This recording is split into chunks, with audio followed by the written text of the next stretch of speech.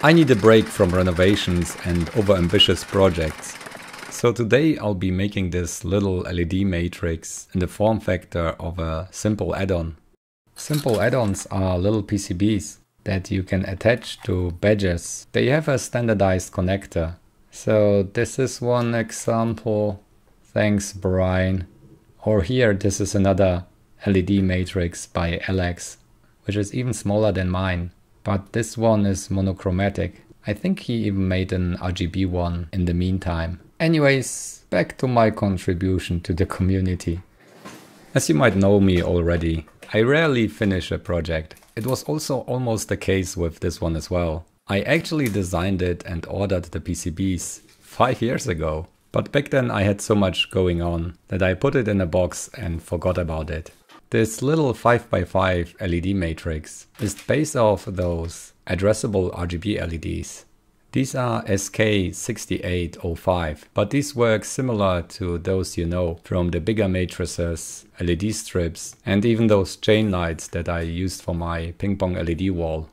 They need to be driven by some sort of microcontroller, and in that case I'm using the smallest one so far. This is the ATtiny 10, which is the size of a grain of rice. It might have been a good choice 5 years ago, but now we got better options that are less limited the reason I'm reviving this project is because of the Pixel Pump. I talked about it in the last episode already. Robin, who made the Pixel Pump, also made those SMD component magazines. And the cool thing I figured out last time is that the LEDs are kept in the strip and are all oriented the same, which make them way easier to place. Since these LEDs are so tiny, it's actually quite difficult to see how they are oriented. There is a marking on the back but even this is barely visible. So figuring out the orientation once, labeling the magazine, is of great help when trying to place projects like these. Usually you would create a set of magazines with all the components for the current project, but in this case it's only three SMD components. And I only even have two of those ATtinies. So now with the pixel pump setup, I can be sure of the orientation of the LEDs. What makes it even more difficult is that each LED on the PCB is rotated by 90 degrees compared to the neighbor. This had a reason that we have always 4 connections per LED and I was only using a 2 layer PCB here. So actually by rotating the LEDs, the power, the ground and the data lines line up nicely. However, it makes it way more difficult to place by hand. Oh, wait a second. What is this? Shouldn't this pad be connected to VCC? Oh no. We didn't even start yet and there is already the first mishap. We don't make mistakes. We have happy accidents. Oh come on, you can't be serious. Yeah, this happens if you rush projects. Oh well, I have to botch this. So I will skip the last LED for the reflow. Anyways, I got the stencil and the PCBs already 5 years ago from JLC PCB, who is still my sponsor. That's amazing. Since I've been ordering these back then, many things have changed and improved. We got way more options and services. What didn't change is the low price. You can still get the PCBs for $2. In a lead-free surface finish, it's 330 in this case. And with the stencil for the solder paste, we are at around 10 bucks, which is really cool. But JLC is not only for hobbyists like me. They can also manufacture PCBs up to 20 layers. This is crazy. And currently there is even an offer up to 8 layers for 2 bucks. So if you ever wanted to design PCB coils, this is your chance. But there are also flexible PCBs, the assembly that I've already used in many of my other projects, and also plenty of 3D printing and CNC services. So please check them out. Since I already know that I made a mistake on this PCB, I will only assemble a few to test and code a little bit. I'm using bismuth based low temp solder here. I really like the less severe burns that I get during the reflow process. Anyways, I will just use the pixel pump to place the LEDs that are oriented the same way and then turn the whole PCB and continue. The first components are still a little bit janky, but after a little warm up, I get faster and more precise.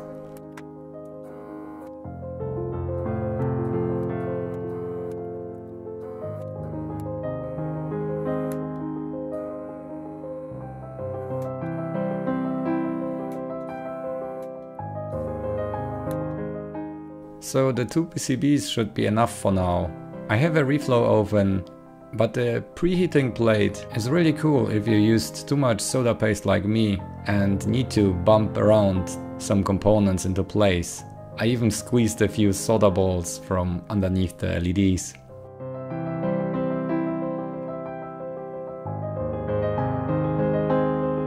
The V-scored panels are way easier to separate.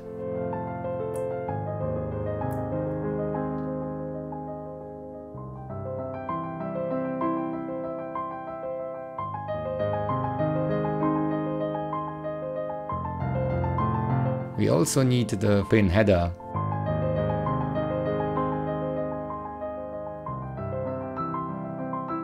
Before starting to program the ATtiny, which drives the LED matrix, I wanted to use WLED, so this way I can rule out any errors in the matrix configuration. What I still need is the botch for the last LED and I also want to connect the LED data pin to the pin header to test first. But this thing is so tiny, there is no way I can solder that without a microscope. Since I moved in last year, I didn't have the time to set up the microscope yet. So that's a good opportunity. We don't make mistakes. We have happy accidents. This should work and we should get better footage as well. As a practice run, we can try to solder one of those LEDs to wires of the thickness of a human hair.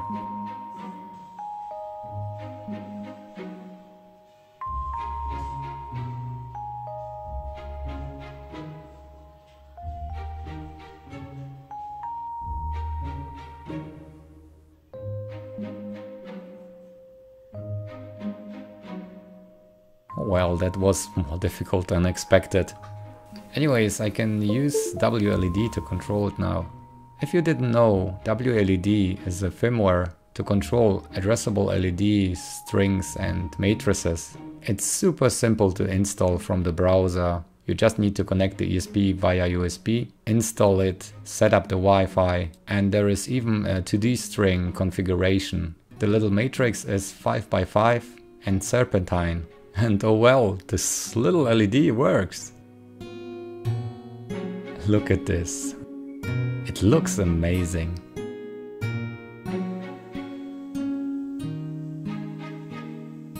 Now I only need to add the bodges to the matrix and try driving that. Fortunately the VCC via is next to the pad. So I can scratch off the solder mask and solder on a piece of wire. We probably would be able to just bridge it with solder, but I did it like that.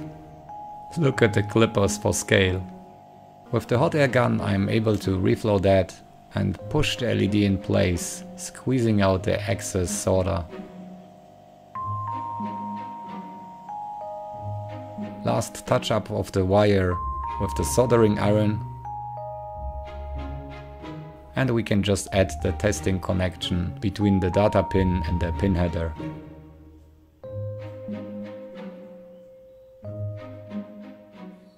And oh well, the matrix works. yeah. At full brightness it's really hurting my eyes.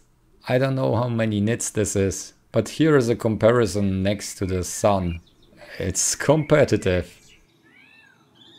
As a next step I needed to program the ATtiny 10. I didn't know when I designed it that it's using the tiny programming interface but I was actually lucky that it's supported by the AVR ISP MK2 that I have seen somewhere here around recently. Ah, here it is. I used the second matrix without the bodges and without the last LED to set up my programming environment here. One stupid thing is that the AVR ISP isn't able to supply the power anymore. I think they changed it at some point so I have to power it over the pins additionally. I uploaded a simple test sketch, but nothing was happening. And there's where I realized the second mistake. It's actually not reset. We don't make mistakes. We have happy accidents. So I have to pull it high with a resistor. Yeah, that works. Oh well, there comes another botch. There's not much space for this botch. But fortunately the reset and VCC pins are next to each other, so soldering on a 0402 resistor is the easiest option. And that works now, so I can start to develop. Yes! The internal oscillator of the ATtiny runs at 8 MHz, so we have to be careful with the timing to output the 800 kHz data stream. But with some optimized assembly and an unrolled loop for the 24 bits, that's actually possible. But the problem that I'm encountering here as mentioned is the ATtiny 10 is quite limited. We have 1 kilobyte of flash for the code and data and only 32 bytes SRAM for the stack and the frame buffer. Since we have 25 LEDs, that's only 1 byte per LED, not the 3 bytes that we would need. Anyways, after trying a lot, I decided to encode 3 bits for green and red and 2 bits for blue. And with all those limitations, actually there is not much possible in the code. However, I tried to squeeze out every last byte that I can get from the flash and decided to scroll a long bitmap through the frame buffer. And it looks really cool. At the end I added a teeny tiny Nyan Cat. Oh well, the resolution is a little bit limited. The buffer overflow at the end looks like the Nyan Cat would even move. So this is how you can use controlled bugs as features. Anyways, it's now time to transfer it to the other matrix. I have all the microcontroller pins exposed as pads on the back and thought I can use this pogo pin header to press it on while programming. I soldered it uh, to a pin header to wire it with jumper cables and it actually works. Nice. Yeah. By the way, I'm using here only 1 8 of the maximum brightness and it's already hard to film. If you're wondering how bright it is, this is the full brightness wide. After 2 minutes it's already over 106 degrees C. So probably at some point with the low temp solder the LEDs might fall off. I would consider it a fuse, protecting you from burns by disassembling itself. So let's attach it to a badge. Okay. Wait a minute. Did I actually mess up the connector? No. What? We don't make mistakes. Shoot. We have happy accidents.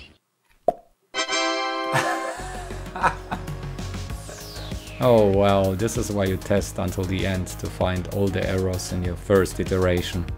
Anyways, it looks cool. You can find the code in the description below. I hope you like this little project with all the little mishaps and errors. I had some fun tinkering around with that. If you like more stuff like that, please subscribe. I linked the code in the description, as well as a link to the Pixel Pump and uh, SMD magazines, and some coupon codes for JLC PCB. So please check them out. By the way, if you are interested, Next month I'm at the Maker Faire in Hanover and at the Musikkabinett meetup in Rüdesheim. Great thanks to all my supporters on Patreon, Twitch, YouTube subs, PayPal and GitHub. I see you next time. Bye!